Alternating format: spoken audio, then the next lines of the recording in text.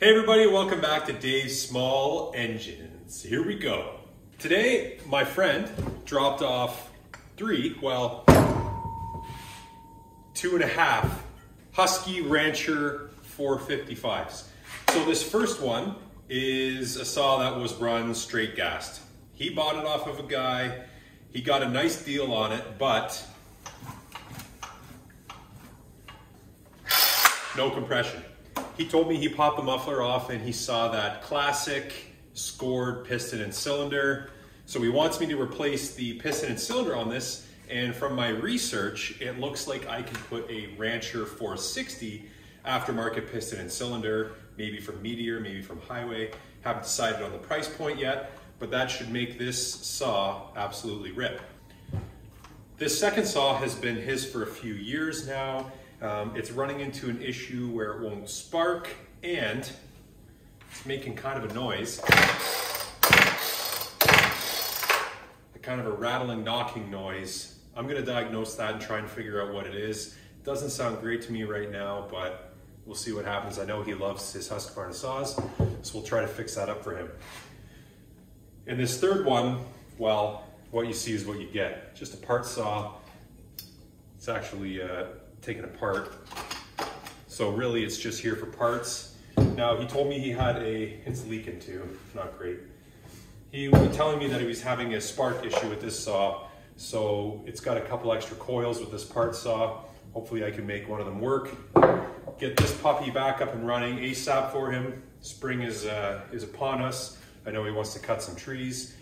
This 455 should work great if I can sort out the rattle and knock issue as well as the spark issue.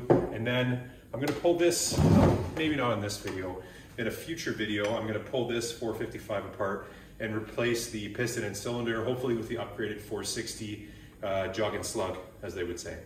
All right, so let's focus on the saw that he's had for the longest here. He takes really, really good care of his stuff.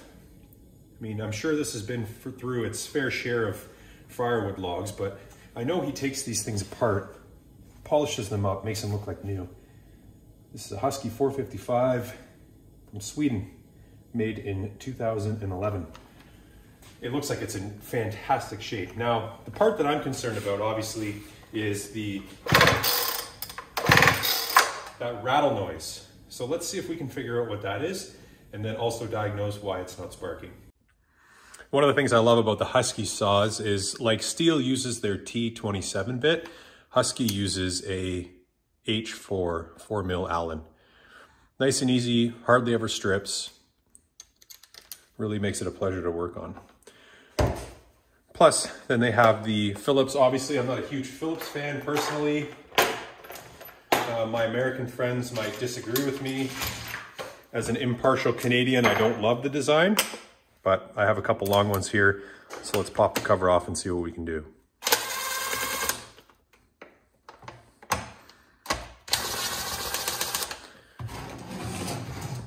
I'm really curious to know the source of that rattle or that knock. Happens when I'm pulling the saw over. So it's definitely connected to some sort of movement. So let's see if I can hear it. Decompression valve. Ooh, that's a rattle noise I don't like. wondering if this flywheel isn't hitting on the coil pull this side off. Of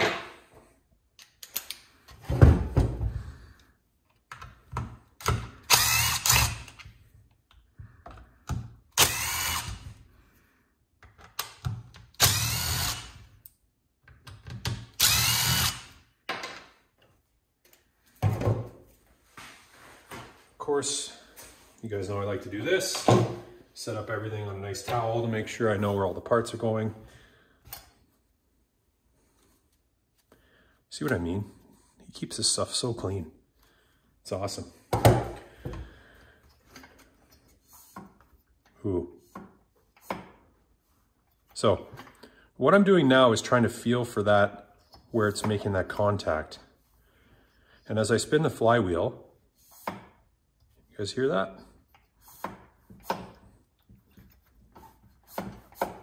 Ah, and it goes by it. So what I think we actually have is a coil that's too loose. Let's pop this cover off and get out the coil. What we're looking at here is, I'll zoom in here for you guys. This coil is contacting, yes. There we go. So we've diagnosed the rattle or the noise. This is a magnetic field right here, and it's created between the coil and the flywheel. And as every time this spins around, it sends a charge through the coil, which then in turn goes up into the spark plug and creates a spark. If you don't set this properly,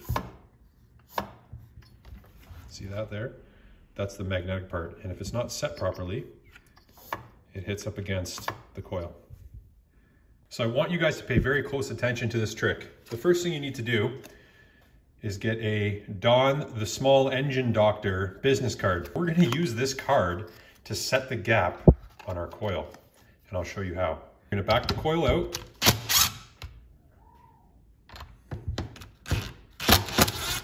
Okay, and you're gonna set the Don's business card in between the flywheel and the magnetic contact patches on the coil. Now, you're gonna spin the flywheel to where it makes its contact right here. And that's how you know the gap is perfect. I kid you not, this is the way to do it. Right there. So now I know I can tighten the coil back up. Right there. Tighten the coil back up. I won't do it tight with this, I'll do it by hand. Just want to get it snug.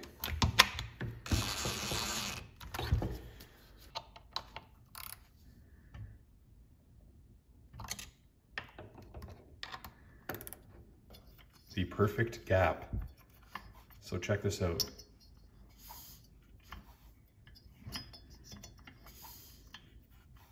No contact, no rattle, no noise. It's exactly like what I was hoping to hear. So now before we go any further, let's put it back together and see if we can't get spark. Maybe that was the issue in itself, which would make my job very easy and my friend a very happy customer. Okay, let's pop the cover on.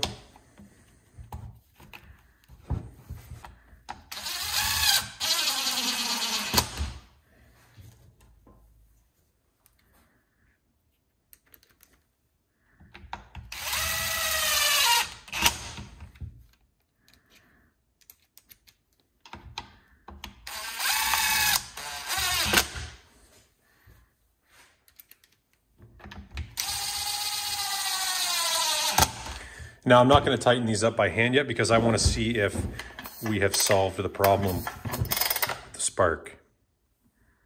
All right, let's get that plug out.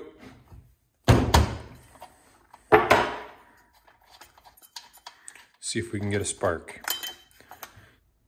Plug looks good. Obviously, it looks a little wet because I've been pulling it over. I think this still has fuel in it. Let's ground this plug. See if we can get a spark here. Ignition's on. See what happens. Oh yeah. I'll zoom in. All right, here we go.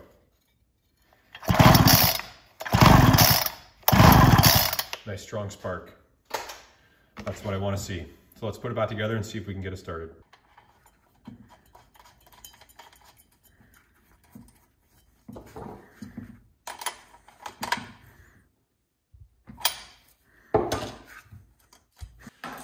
Okay, so choke on,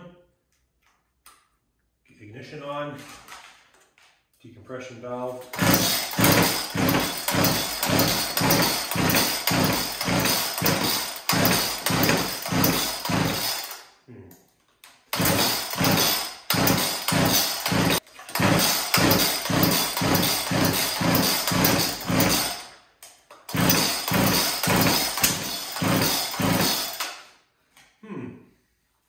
That doesn't sound good, does it? You got a little backfire? All right, so you guys heard it wants to start. It feels like it it's trying to kick there at the very end. Sometimes that can mean that there's low compression. It wants to start, it can't start because there's just not enough squeeze for that bang inside of the cylinder. So let's pull the spark plug out and do a compression test. takes only a few seconds. I mean, plug's got some fuel on it, which means we're getting fuel into the cylinder. I'm confident with that. But when I was pulling it over, it just really didn't seem all that, all that tight, all that compression that I normally like to see. Let's do it here. I'll show you guys and we'll see if we can get a compression test going. All right, we'll see that. Ignition off, obviously.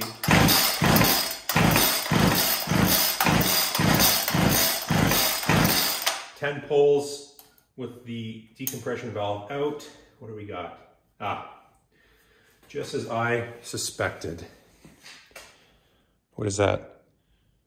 60, 70 PSI. Not enough to run, so that's gonna be the issue. Okay, well, another thing we can check now is to pull the muffler off and see if there's some scoring.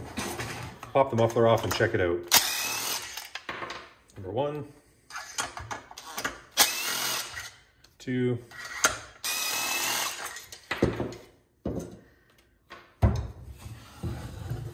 Heat shield out of the way.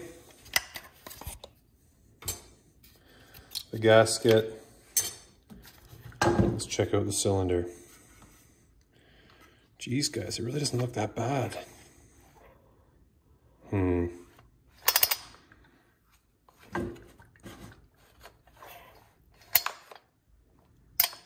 Can see some slight scoring in there.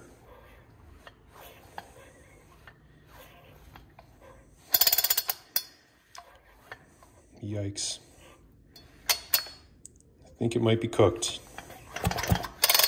I mean, the skirts look okay, but at the top, that ring looks like it might be frozen. Now, before I call my friend and tell him that this piston and cylinder needs to be replaced, there's one other spot of error that I'd like to check, and that is this decompression valve.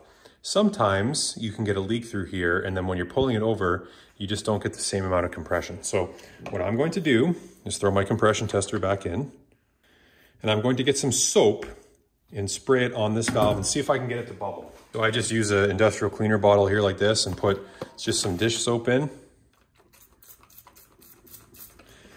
And then I will make sure the valve's out and pull it over.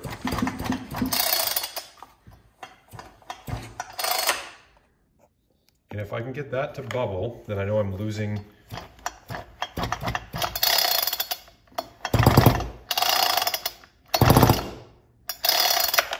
I don't think I am.